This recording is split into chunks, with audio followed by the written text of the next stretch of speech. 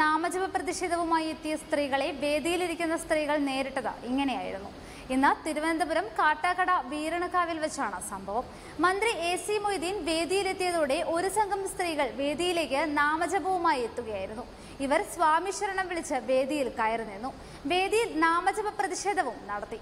സദസ്സിലിരിക്കുന്ന സ്ത്രീകളോടും ഇവർ നാമജപ പ്രതിഷേധം നടത്താൻ ആവശ്യപ്പെടുന്നുണ്ടായിരുന്നു. പ്രതിഷേധം നടത്തിയ ഇവരെ വേദിയിലിരിക്കുന്ന സ്ത്രീകൾ ആട്ടിപ്പായിക്കുകയും ചെയ്തു. സദസ്സിലിരിക്കുന്ന സ്ത്രീകൾ ഇവരെ കൂകി വിളിച്ച് പ്രതിഷേധിക്കുകയായിരുന്നു. ഇതോടെ പ്രതിഷേധക്കാർ മടങ്ങിപ്പോയി.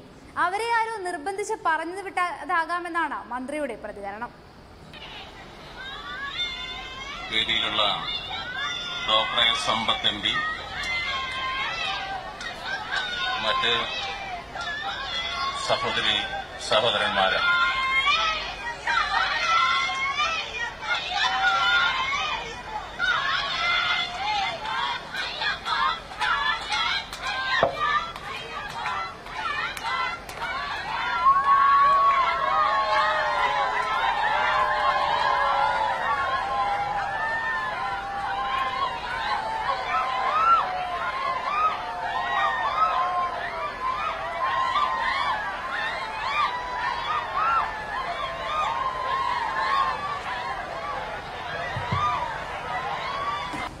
കഴിഞ്ഞ ദിവസം മുഖ്യമന്ത്രി പങ്കെടുത്ത പരിപാടിയിലും പ്രതിഷേധക്കാർ നാമജപവുമായി എത്തിയിരുന്നു. എന്നാൽ മണ്ഡലകാലമല്ലേ ശരണം വിളിയൊക്കെ കേൾക്കുമെന്ന് പരിഹസിച്ച് മുഖ്യമന്ത്രി തന്റെ പ്രസംഗം തുടരുകയായിരുന്നു. ശരണം വിളിച്ച് തന്നെ പേടിപ്പിക്കാൻ നോക്കണ്ടെന്നും മുഖ്യമന്ത്രി പ്രതികരിച്ചിരുന്നു. കൂടുതൽ വാർത്തകളുമായി തിരിച്ചെത്താം.